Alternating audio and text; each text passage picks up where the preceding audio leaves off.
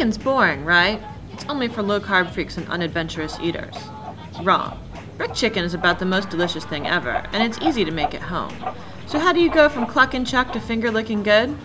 Here's how. The first thing you need to do is get your hands on a top quality clucker. I headed to the farmer's market and scored a three and a quarter pound bird from Mike Beatty of Tamarack Hollow Farm.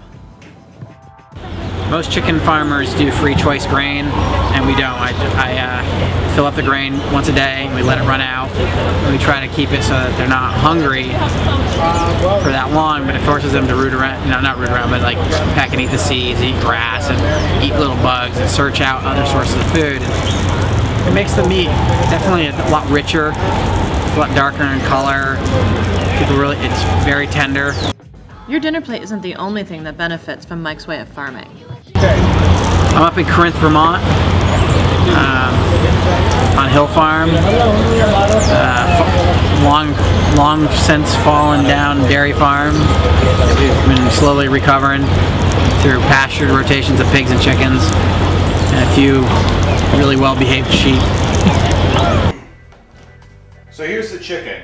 What we're gonna do is we're gonna basically remove all the meat from here and here off of like the big rib cage, the main carcass. So what we're gonna do is we're gonna cut two parallel cuts this way and then cut around the rib cage, hopefully, because it's kind of a bony chicken, it's one of those beard guy chickens, and cut all the way down to the bottom. We're gonna have to sever um, a knuckle here and a knuckle down here. Season the bone chicken with salt and pepper, then place skin side down in a smoking hot skillet. Put a heavy weight on top of the chicken and cook on high for 5 to 7 minutes.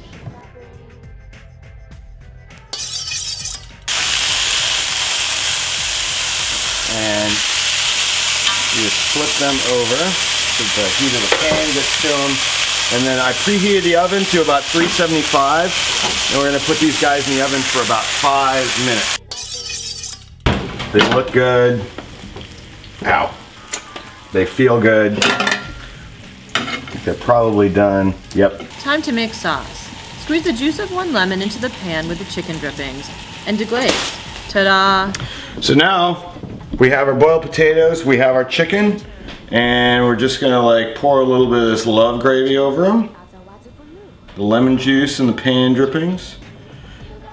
There's not a whole lot of it, which is good because it's kind of salty and tangy at the same time.